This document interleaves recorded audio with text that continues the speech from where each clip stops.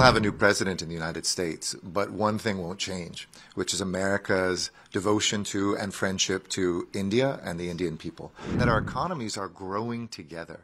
America is the fastest growing economy in the developed world. India is the fastest growing economy in the developing world. Much of that momentum comes with each other. We're now your number one trading partner. We have a record amount of trade that is tenfold more than it was just two decades ago. India is really coming into its own, not just about being a domestic power, a regional power, but a global power and a force for good.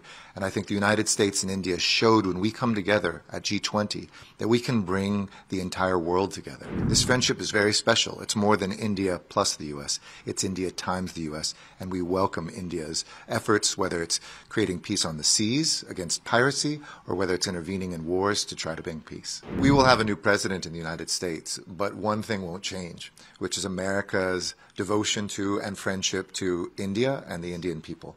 We know that our countries like each other, our people love each other, and that our economies are growing together. America is the fastest growing economy in the developed world. India is the fastest growing economy in the developing world. And much of that momentum comes with each other. We're now your number one trading partner. We have a record amount of trade that is tenfold more than it was just two decades ago.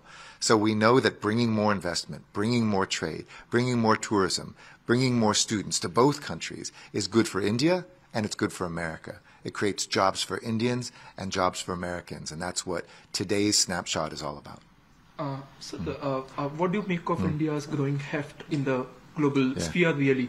Uh, this entire possibility of a mediation mm. as well, yeah. Uh, especially in the light of what has happened in Moscow sure. overnight. Mm. Yeah. Uh, how, how do you look at that drone attack right into a civilian place in Moscow? Look, we welcome any partners in bringing peace to this world. Shakti. We know that here in India, that India has always been a country that has stood for peace and whatever influence it can exert to bring peace to people who are suffering an unwarranted invasion of Ukraine, uh, in the Middle East where we've seen a war break out, in Sudan. You know, India is really coming into its own, not just about being a domestic power, but a regional power, but a global power and a force for good. And I think the United States and India showed when we come together at G20 that we can bring the entire world together, that India opens up doors that are sometimes less open to America. America opens up doors that sometimes are not as open to India. This friendship is very special. It's more than India plus the U.S. It's India times the U.S. And we welcome India's efforts, whether it's creating peace on the seas against piracy or whether it's intervening in wars to try to bring peace.